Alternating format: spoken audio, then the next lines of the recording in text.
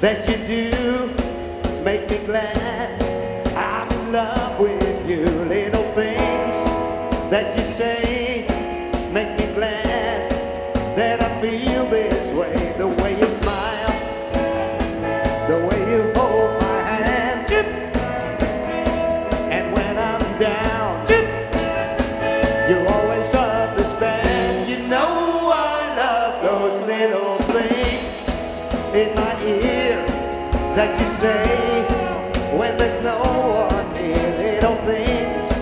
that you do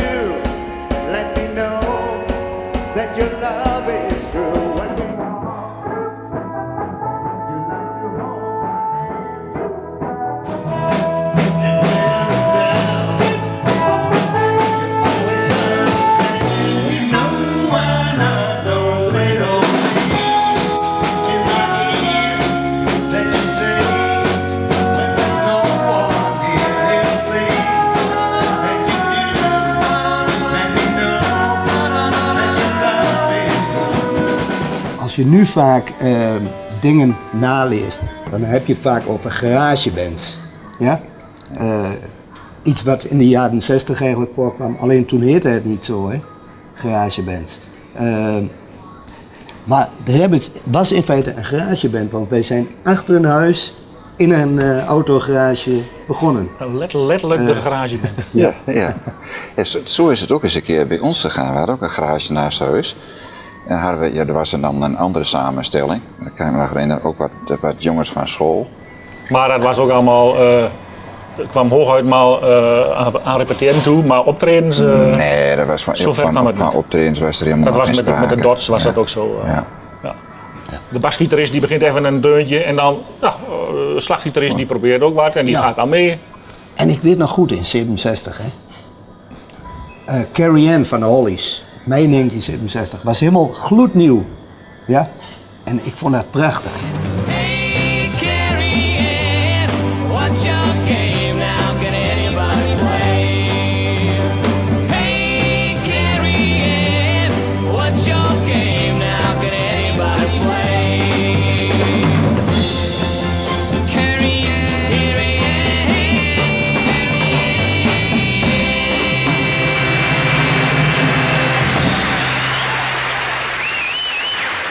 Dat wou ik ook graag. eh, dat wou ik graag spelen. En mijn broer die, eh, die speelde er ook in. En eh, die wist de akkoorden wel. Ja? Die had hij uitgezocht. Maar die drummer die zag dat helemaal niet zitten, dat nummer. En toen heb ik gezegd, nou dan, dan stop ik ermee. Dan doe ik niet meer. Zo was het ook dat midden 67 dat, dat de Rabbits op zoek gingen naar een, naar een drummer. En daar daar gaat, gaat ook het verhaal van, nou, dan ging de manager die ging eerst naar de cafetaria toe. En die ging bij mensen eh, die in de cafetaria zaten of daarvoor stonden. Die ging dan vragen van, nou, eh, weten jullie nog ergens een drummer? Nou, dan werd er eens wat heen en weer gepraat. En eh, ja, op Stimvenner moet nog ergens een drummer wonen. Nou, en dan sprong hij op zijn bromfiets en dan ging hij naar uh, en Stimvenner toe. En, dan staat hij bij Jan de Bel. Hoe dat eigenlijk ontstaan is, eh, dat ik erbij ben gekomen, dat ligt me helemaal niet helder voor de geest. Ja, net wat ik zei, je treft elkaar bij de cafetaria of zo en dan kom je aan de praat van, nou, oh, de, de Rabbits, nou, wel eens van gehoord. En die zoeken dan eh, ook iemand die eh, toetsen kan spelen. Op een bepaald moment, ik had er wel oren naar. Maar goed, zo, zo ontstond dat dus. En, nou, en eigenlijk, dat weet jij ook nog wel, Jannie. Ik geloof maar een, een, een paar weken repeteerden. Week of Ja. eh, drie misschien. In de voorkamer bij toen- Gertie ja. Reuvers eh, op Patmos. Ja. en toen hadden we ons eerste optreden al. Ah, hoeveel nummers zouden we toen eh, hebben kunnen spelen? Nummer 15 of ja, hooguit. hooguit. Hooguit. Ja. En dat ging dan op herhaling. Ja, er werd halverwege de avond werd gezegd van, nou op verzoek nog een maal. Nou, en dan werd dat nummer voor de tweede maal gespeeld. Zo ging het met elk nummer.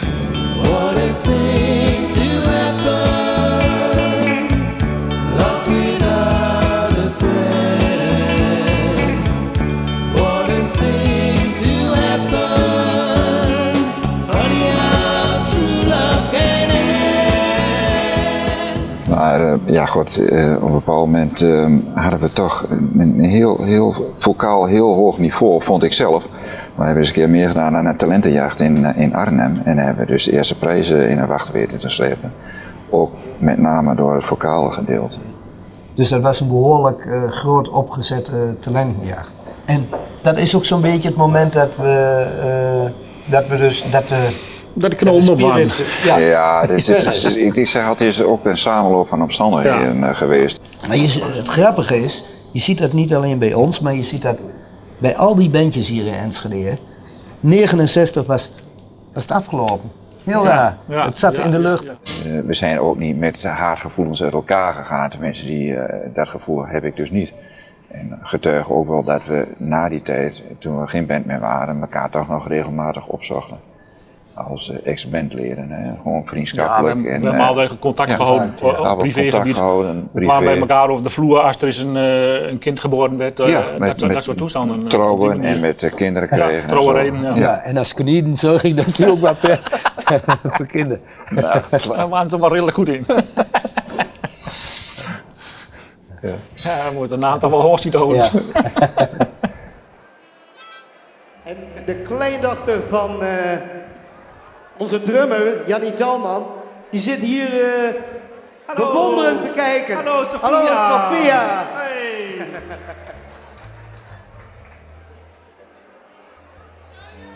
Dit wordt de Price of Love.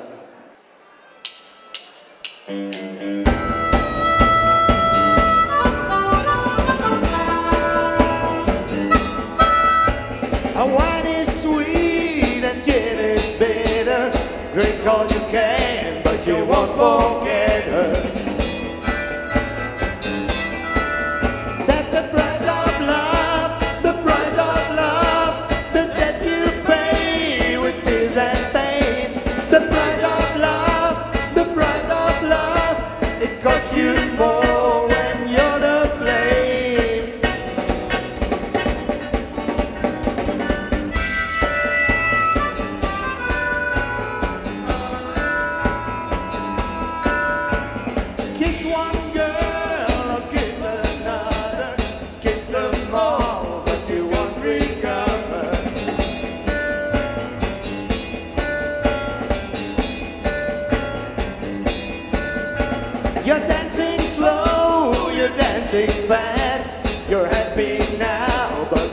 Lord,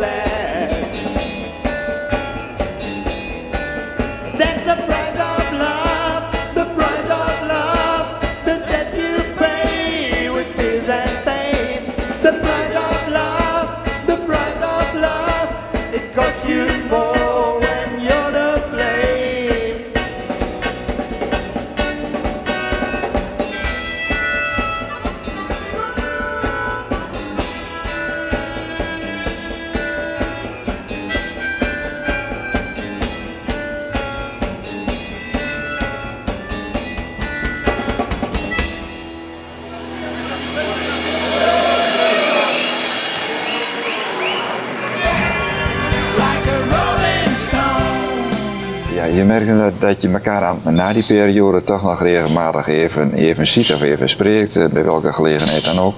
En dat contact is eigenlijk al die jaren wel, eh het op een laag pitje geweest. Tot op een bepaald moment eigenlijk dan eh, die, dat hele circus van textielgebied begon. Nou, we vinden het wel heel erg belangrijk dat, ja, dat de 60 jaar eigenlijk een beetje voortleven. Dat kun je dan doen middels een festival eenmaal in de twee jaar. Maar goed, eh, ik heb dan ook een andere manier gevonden om dat te doen. En dat is eh, zeg maar een, een website in het, in het leven roepen. En in eerste instantie eh, gaat het dan over de rabbits. Maar ja, over de rabbits ja, daar valt niet zo heel veel over te vertellen. Ook al omdat ze maar eenmaal in de twee jaar actief zijn. Dus ik heb die website, de informatie voor die website heb ik wat uitgebreid door het hele 60 jaren gebeuren. En dan ook een beetje toegespitst op het Enschede in de 60s. Ik zelf ben niet zo heel actief meer in, eh, in het 60-jarige gebeuren. Eh, ik maak thuis natuurlijk nog wel wat eh, muziek op de synthesizers en zo, dat, soort zaken. Eduard is daar heel actief in, maar ja, dat, dat weten jullie zelf ook met zijn eigen programma. Maar dat kan hij beter zelf even vertellen. Ja, eigenlijk sinds een jaar of twintig een radioprogramma eh Enschede FM. Eerst Radio Enschede dan. Eh, My Generation. The Sweet Inspirations.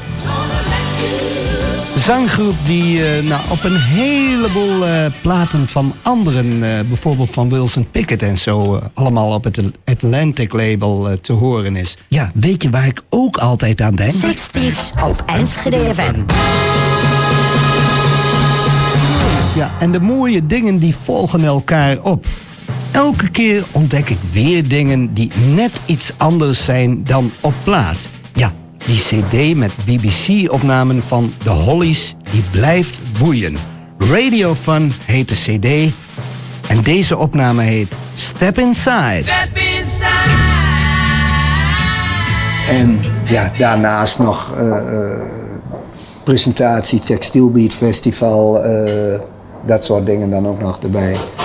Maar altijd wel bezig gebleven. En, Kortom, een heel druk baasje. nou, dat- ik hoop je wel weer stil, hè? Morgen tijd om te werken. Ja. Veel plezier zometeen met Just for Fun. En nog steeds ben ik jaloers op die zanger omdat hij zo'n mooie naam heeft. Engelse naam. Ook vanaf het begin. Johnny Gaasheid. Applaus. The Stars. Ooit droomde ik dat ik de zanger van de Baboons was. Ja? Vergeet het maar. Hè? Ik, mag, ik mag ze alleen maar aankondigen.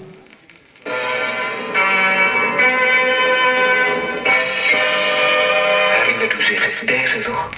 Ja, en toen kwam het ellendige eh, moment dat Frans, eh, onze bassist, plotseling eh, overleed.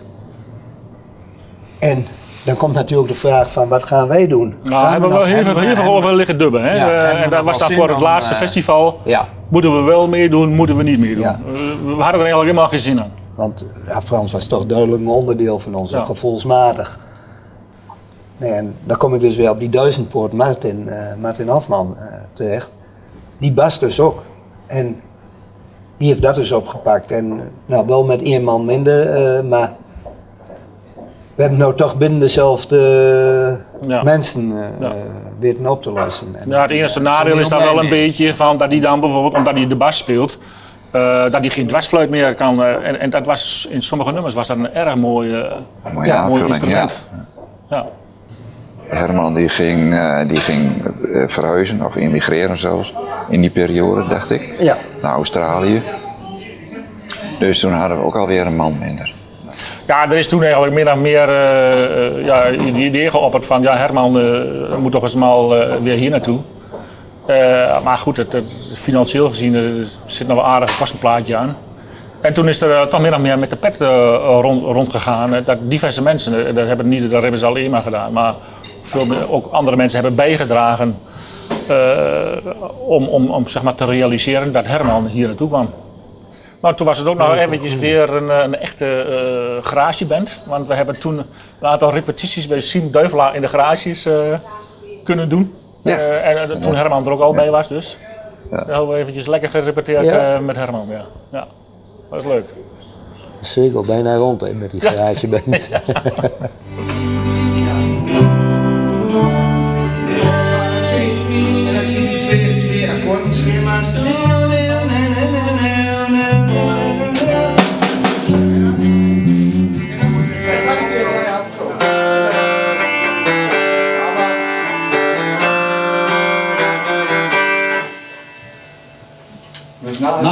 zou kunnen, dat weet ik niet, want die keer akkoordenschema kreeg je daar.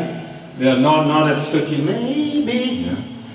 Eh, dat, dat, dat dat nog iets zachter moet en dan dat je dat people, want dat bedoel ik, dat bedoel ik hè? Ja. Dus dan moet je toch, toch worden zang hebben geen... massale ondersteuning, of kan zien. Nou, dat, nou, maar dat geluid is daar scherp. Dus dat kan nooit zo wezen. Deze hebben we, eh, de vorige niet hoor, maar deze hebben we vroeger ook gespeeld. Vroeger is nou niet zo lang geleden hoor, dit is een jaar op, eh, wat zullen we zeggen, 45 of zo eh, geleden? Ja, zoiets hè? Ja. Niet dat we oud worden. Eigenlijk hopen we wel dat we oud worden, maar... Het is allemaal zo krom, hè?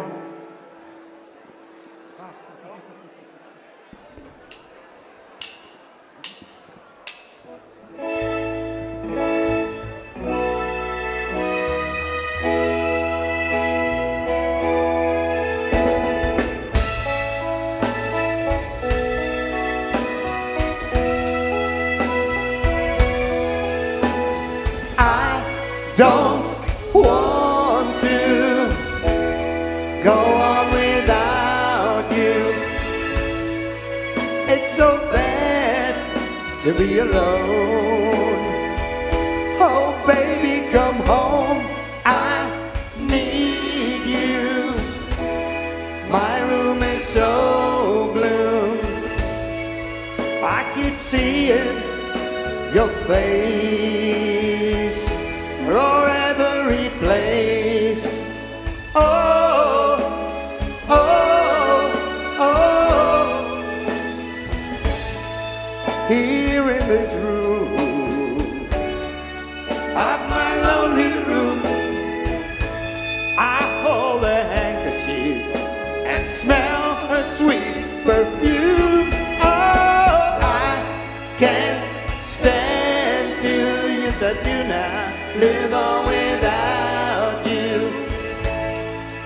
Oh my darling, hear my plea. Come on back to me.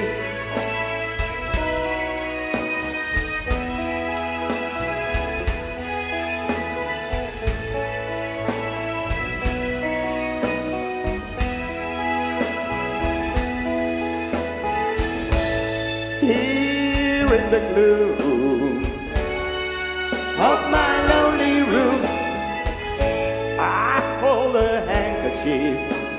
smell her sweet perfume.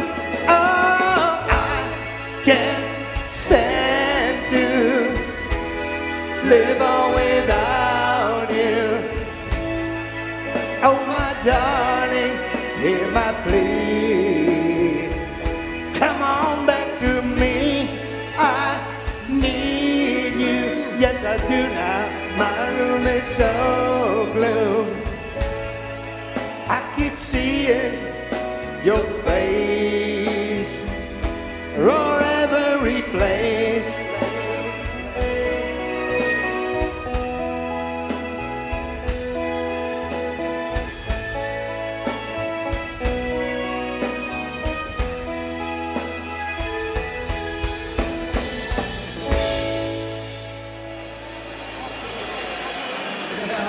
De Searchers hadden er een heel symfonieorkest voor nodig.